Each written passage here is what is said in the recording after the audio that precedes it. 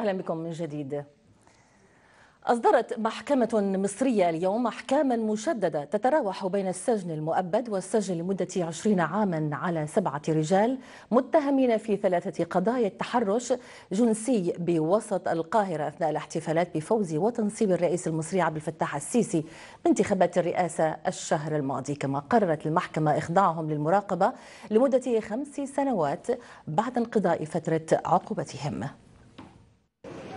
جاءت أحكام القضاء بحق قضية تحرش التحرير بمعاقبة خمسة متهمين بالمؤبد والسجن عشرين سنة لأربعة آخرين بمثابة رد اعتبار لنساء مصر وبناتها وكرامتهن التي أهدرت على يد الذئاب البشرية بحسب وصف المستشار محمد الفقي رئيس المحكمة.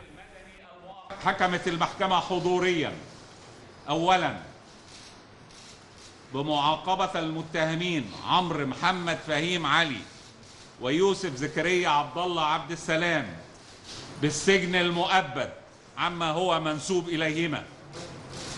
وألزمتهما المصروفات الجنائية. ثانيا بمعاقبة المتهم كريم محمد مصطفى محمد ناصر بالسجن لمدة عشرون سنة كانت النيابة العامة قد أحالت 12 متهما في خمسة قضايا للمحاكمة بعد أن وجهت لهم اتهامات استعراض القوة والتلويح بالعنف واستخدامها ضد المجني عليهن بقصد تخويفهن والاعتداء عليهن.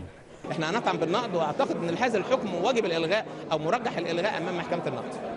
وأظهرت لقطات فيديو عرضت على موقع يوتيوب امرأة مصابة بجروح وهي تجر وسط حشد من الناس باتجاه سيارة إسعاف وأثارت اللقطات غضبا شعبيا كبيرا في مصر وشجعت الكثيرات من الضحايا على التقدم ببلاغات وتعد هذه الأحكام هي الأشد على الإطلاق في تاريخ قضايا التحرش الجنسي في مصر وربما تحد من المخاوف بشأن عدم بذل السلطات في مصر الجهود الكافية للقضاء على تلك الظاهرة. كان الرئيس المصري عبد الفتاح السيسي قد أصدر توجيهات لوزير الداخلية محمد إبراهيم بضرورة التصدي للتحرش الجنسي عقب القبض على المتهمين السبعة كما قام بزيارة الضحية في المستشفى. ووقعت الاعتداءات أثناء الاحتفال بتنصيب السيسي في ميدان التحرير في الثامن من يونيو الماضي وجددت القلق بشأن التزام مصر بمحاربة العنف الجنسي. وللتعليق على هذا الملف ينضم إلينا في استوديو الدكتور محمد عبد الغني عضو الكلية الملكية للأطباء النفسيين في بريطانيا. أرحب بك دكتور محمد. بداية بحسب منظمات حقوقية ودراسات أعدت ب يعني بخصوص جرائم التحرش تأتي مصر بالمرتبة الثانية كأسوأ ملف لجرائم التحرش بعد أفغانستان بالعالم. ما تعليقك؟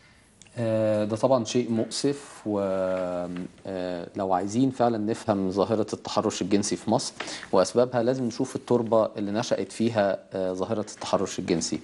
فلو بصينا للمجتمع المصري في آخر 40 أو 50 سنة هو أصبح مجتمع ذكوري بامتياز في قطاعات كثيرة منه في أوقات كثيرة بيحتقر المرأة وبينظر لها كمفعول به. النقطة الثانية إن في غياب شبه تام للثقافة الجنسية السليمة ودور الجنس في المجتمع الدور السليم للجنس في المجتمع. برضو في غياب المثل. قلت آخر 40 و50 سنة ولكن نحن كلنا نذكر يعني كيف كانت مصر في يعني الستينات والسبعينيات. يعني كانت لبس المرأة مختلف تماما عما يعني نشهده الآن في شوارع مصر. ومع ذلك لم نسمع عن ظاهرات ل يعني ظاهرة للتحرش ومثل هذه الجرائم. هو يمكن الأصح يعني يمكن ده يمكن الأصح نقول آخر 30 سنة هي الظاهرة كانت موجودة بس زادت جدا في العقد الأخير وبالذات في السنوات المعدودة الأخيرة يعني.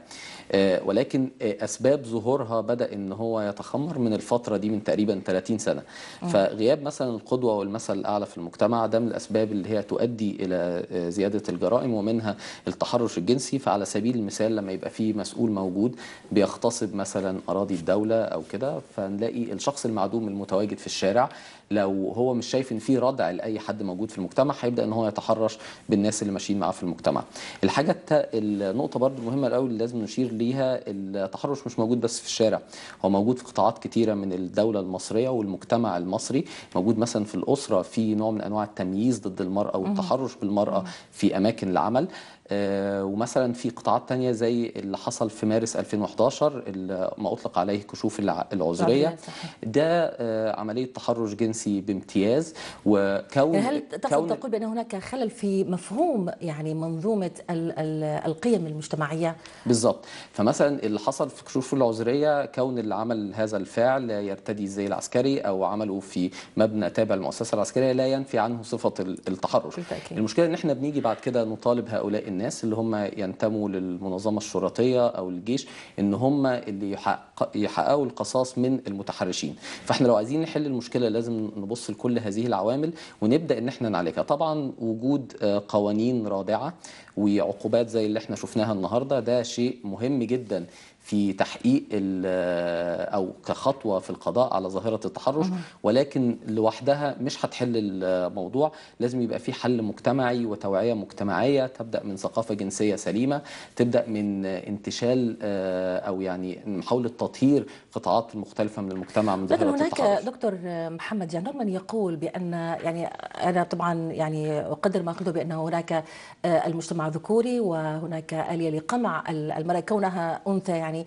ولكن هناك من يقول أيضا الأوضاع الاقتصادية المتردية في البلاد الخطاب الديني يلعب دورا كبيرا آه، بتوجيه آه، يعني وجهة النظر نحو المرأة كونها امرأة تحترم لا أم لا تحترم. يعني كان هناك خطاب لأحد يعني أنا أريد أذكر أسماء كان يقول بأن ال- المرأة هي التي تحدد إذا ما كانت تريد أن يتحرش بها أم لا. يعني هي التي تدعي هذا الفعل لنفسها بسبب لبسها بسبب مشيتها. هو طبعا قائل هذا الكلام آه، ايا كان هو مين حتى لو كان شيخ معمم يعني هو آه، يعني متحرش أسوأ من المتحرش الموجود في الشارع عشان هو بيديله غطاء ديني للفعل اللي هو بيعمله.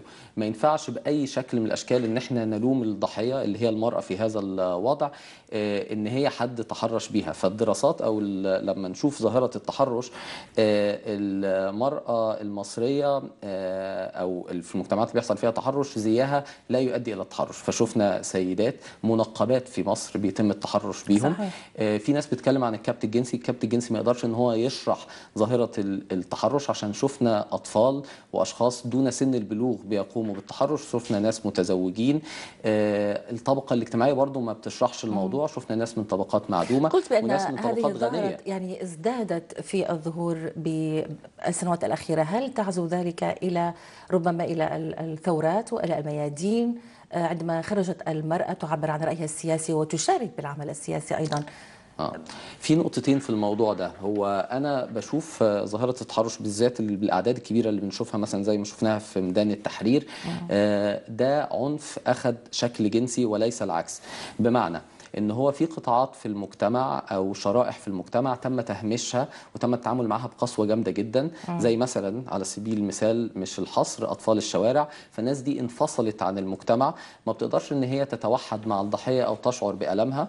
فبيبدأوا إن هم ينتقموا من المجتمع بالهجوم على أضعف ضلوع المجتمع اللي هم في رأيهم المرأة.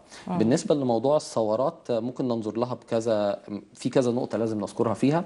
ظاهرة التحرش في مصر ما ظهرتش من آه، بعد ثورة آه، يناير ولكن هي موجودة من آه، السبعينات زي ما نقول والثمانينات وكان بالذات التسعينات مثلا كان في حادثة شهيرة لفتاة اللي هي أطلق عليها فتاة العتبة. فدي موجودة. كان في, في آخر التسعينيات. آه كان في آخر آه، أربع خمس سنين قبل الثورة كل ما بيبقى فيه تجمعات بشرية كبيرة في الميادين مثلا في الأعياد أو كده كان بتحصل حوادث تحرش.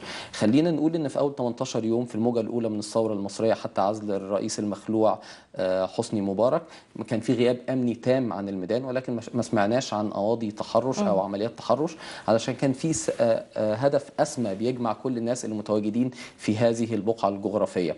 آه، ولكن الغياب الأمني اللي حدث بعد ال 18 يوم وبدأ يبقى في بعض الناس اللي بتحاول تستغل هذا الغياب الغياب الأمني فبالطبع الغياب الأمني ساعد على انتشار الظاهرة ولكن الثورة في حد ذاتها مش هي المسؤولة عنه بك- لأن في ال بكل 18 تأكيد. يوم ما طب مش هناك.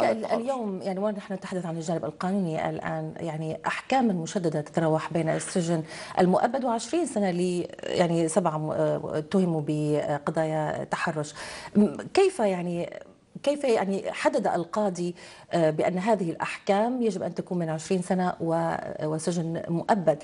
هل يعني تتراوح الأحكام نسبة إلى آه، الت- التحرش أم ماذا؟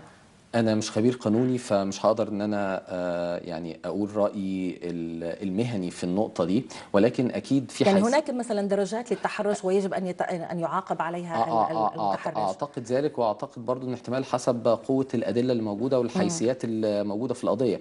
ولكن آه، كشخص كمواطن مش قانوني أنا في رأيي الشخصي إن هو لازم آه، لو حد ثبت عليه التحرش ويعني وصل يقين لضمير القاضي إن هو فعلا هذا الشخص تحرش بامرأة. آه، المفروض إن إحنا نطبق عليه أقصى ما يسمح به القانون علشان إحنا بقينا عايشين في مصر في وضع إن نص المجتمع مش قادر إن هو ينزل آه، ويعيش بشكل طبيعي آه، يعني ينزل الشارع أو المرأة تنزل إن هي تقضي آه، طب يعني هل. بالعقوبات يعني هل هل آه. الحل بالعقوبات وتنزيل أشد العقوبات على المتحرش هل هو- هذا هو رادع أعتقد ده جزء من الحل ولكن ده مش كل الحل لازم يبقى فيه آه، يعني آه، آه، عملية عملية توعية واسعة عملية إن إحنا نبدأ نشوف جذور المشكلة. أنا لا أدعي إن لا قلت دي كل أسباب أو جذور المشكلة ولكن أعتقد إن دي بعض الأسباب وبعض جذور المشكلة ونبدأ نحلها من جذورها. علشان إحنا لو بنعمل أحكام مشددة فإحنا كده بنعالج العرض ولا وليس المرض. ولكن المرض هيفضل موجود ولو حتى في أحكام مشددة أول ما الشخص أو مجموعة من الأشخاص يبدأوا يحسوا إن في غياب للمراقبة أو غياب إن هم ممكن ما يتمسكوش. سوف يقومون بالتحرش آه، مجددا. شكرا دكتور محمد عبد الغني عضو الكلية الملكية للأطباء النفسيين في بريطانيا. مشاهدينا الكرام ملفات انتهى. شكرا لحسن المتابعة وإلى اللقاء.